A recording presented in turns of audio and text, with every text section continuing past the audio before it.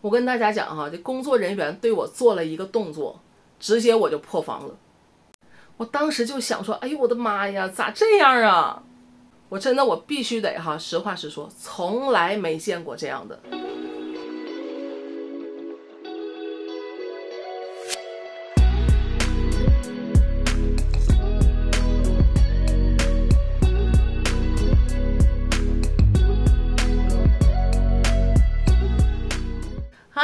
家好，我是阿丹。加崩吧都是开杠的时阵，帮阿丹提前来个订阅，多谢。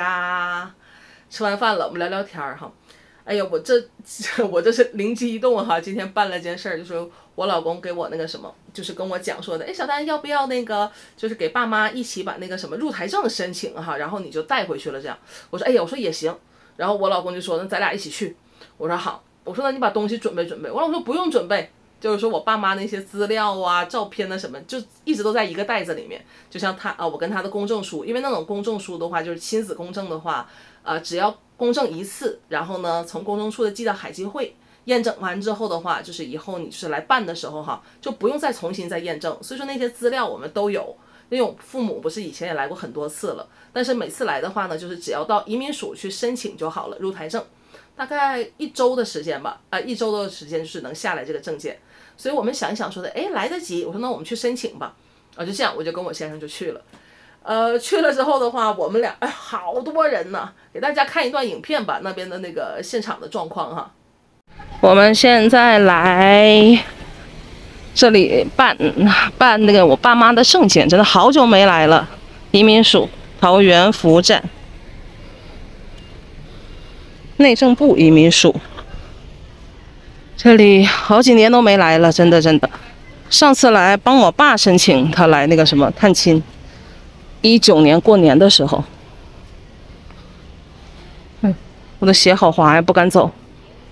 这里，哎呀，好多人呐，好像在外面排队，好多人呢。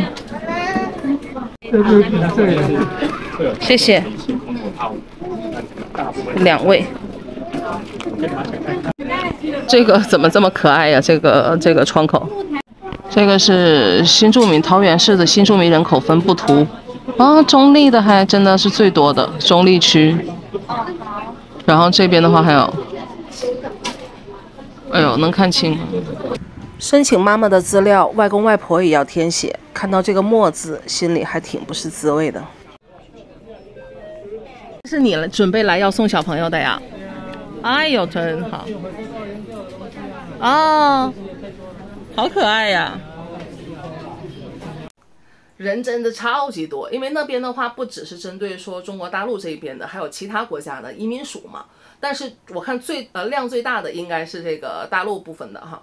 然后呢，有人是办一亲的，像我的话是申请我父母来探亲的话，就是入台证嘛哈。然后呢，就是 我去办的时候，刚好这位大，就是这位大哥吧，我叫他哈，就工作人员人超级好，他那个就是他那个柜台就很很吸引我，我就在那后面坐着排队的时候，我就看到他那个柜台都挂着很多这个小布偶啊什么之类的，刚好到我这个号的时候，就请到一号这个窗口，然后我去的时候就是这个大哥，我还跟他开玩笑，我说大哥，我说你这个好可爱呀，这边挂着，那大哥说的啊，有小朋友来的话，我就会送给他一个呀。说在家里啊，放着也是放着。他说就是这样，这样利用起来，人很好，对不对？你过来办证件的话，人家有必要这么做吗？没有必要，是吧？这也不是什么工作内容。我觉得说，哎，就挺不一样的。然后呢，当时办的时候，我就把那个我们两个先去那边填表格，其实填了就填了一下下哈，就是嗯粘那个身份证啊，粘照片呐，就是影印件什么的哈，然后填了很详细的那个资料，然后呢递件给这个窗口。然后呢，就把照片给那个大哥，大哥看了看，很认真。然后大哥就有看那个照片，然后再比对我之前申请的，然后就说：“哎呀，这个照片不行，这个照片的话，一五年的时候用过了。”我说：“哦，我说那这个呢？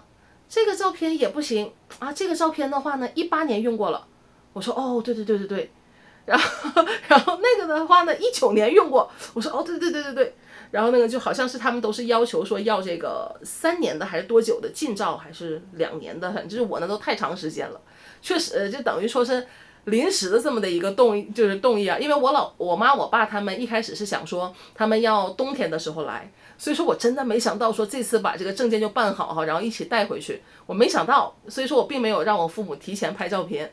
然后那个大哥就说：“哎呀，你这照片不行。”我当时去的时候，我还问大哥：“我说大哥，如果我想哪天哪天拿证件的话，我说来得及吗？”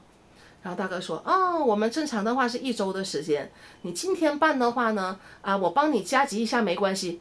哦，那个什么，就是没关系。你看我这边，大哥就指旁边说：你看我旁边这个这个，就是刚才那位小姐呀，啊，她没带身份证啊，然后什么都没影印呐什么的哈，现在不知道跑去哪里了，好像去帮她影印啊。这个我也是帮她加急，人很好。”哦，然后呢，就到我这一份嘛，啊，就开始帮我看那个照片，然后就跟我解释说啊，这个的话不行哦，你看这个比对了半天，他还会看衣服啊、颜色什么的，是不是同一张照片？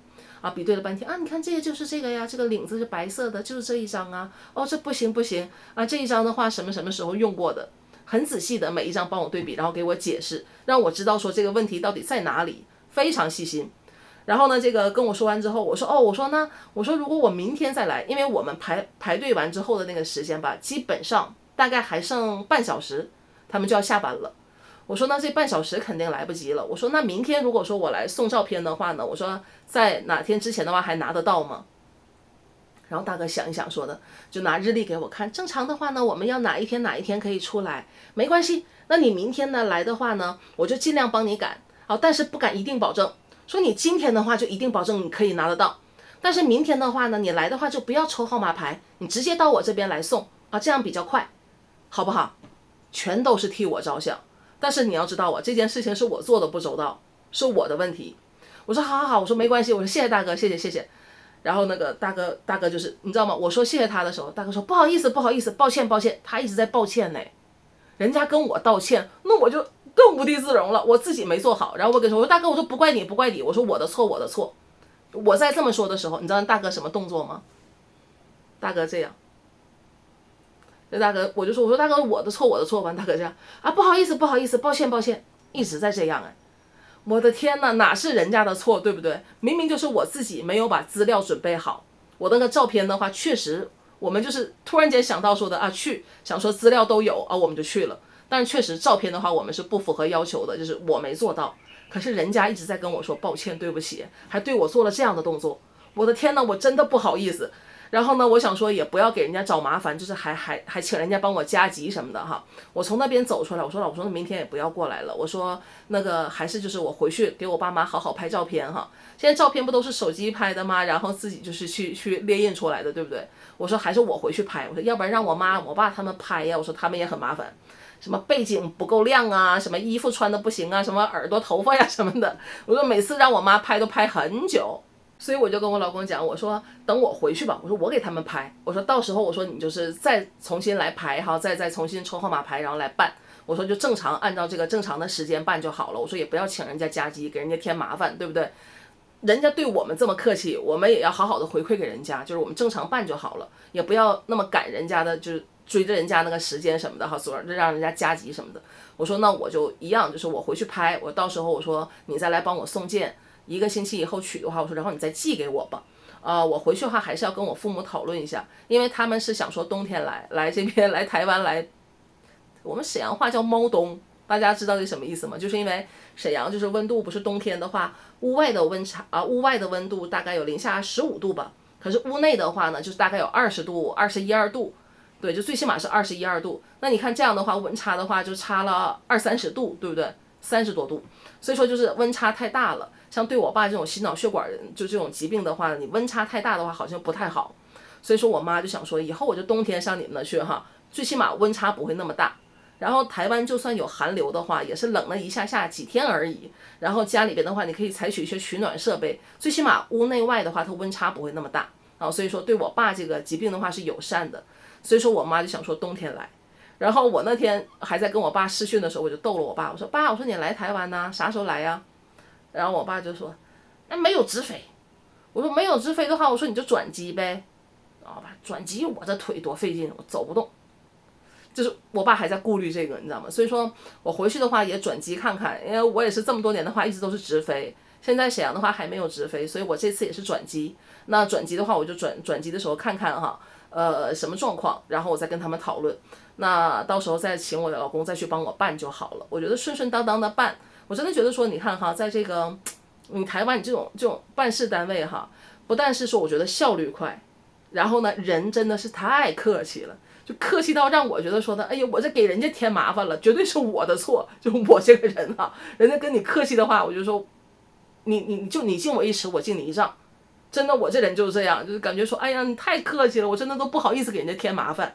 所以说我们也不要那么赶，我出我从那个大厅走出来，我说我说那明天也不要那么赶过来给人家找麻烦哈，还得让人家什么给我们加急什么的，我说不要不要不要，我说还不要抽号码牌，那大哥说的嘛，你不要抽号码牌了啊，你直接过来这样，我说也不要这样，是不是？所以说我就想弱弱的问一句，就是我我这个影片这个看我影片的这些观众朋友们，我的粉丝朋友们哈，不管你是在哪里，你有遇过工作人员哈给你这样的服务态度没？大家谁遇过？都不敢想的事情，是不是？他一直明明是我的错，他一直在跟我抱歉，说，哎，不好意思，不好意思，抱歉，抱歉，抱歉。然后我同时我一看到哦，人家这种反应，这种这种动作什么的哈，我马上我就说，我说，哎，不是不是你的问题，我说我的错，我的错。你说我们两个都太寒暄，太客气了哈。我说人跟人之间不就是这样吗？顺顺利利的多好，是不是？就是笑呵呵的，我这样走出来了，我也不，我也觉得说我也不要给人家找麻烦，多好。这舒这种感觉，说实话太舒服了。真的太舒服了，呃，因为那个入台证的话六个月有效，应该没改吧？六个月，所以说就算他们冬天来的话，我就想一下，也应该这个时候寄也没关系哦。所以说就是再让我老公再帮我办吧。这就是我今天去了这个呃移民署，好多 年没去了。一去的话，哇，被这样对待。我记得有那个工作人员的那个老面孔哈，真的，我说我说，哎，我老公还说，我说那个大哥我们很眼熟。我说对呀，我说应该还有一个姐姐啊，也是我们以前来办就是见到的哈。真的，你问他们问题什么的哈，他们都很耐心的回答你，各种政策什么的。啊，我就今天我也听到一个那个就跟我一样的，应该是陆配姐妹哈，然后就说什么父母怎么怎么样的，然后也在给他解释，就说啊七十岁啊，然后那个工作人员说现在大概要排二十年，然后那个陆配说哎呦那太久了，那算了算了，所以我就大概就听到他们这样的对话，就你只要问他们都会耐心的给你解答，这感觉真的不一样。好了，那就跟大家分享到这儿吧，这个就是我办了一件算算闹了一个小乌龙的事情，但是感受到的这个温暖绝对是不一样的哈。特别特别的有感触，让我好了。喜欢阿丹影片的朋友就点赞、订阅、开启小铃铛。明天再聊，拜拜。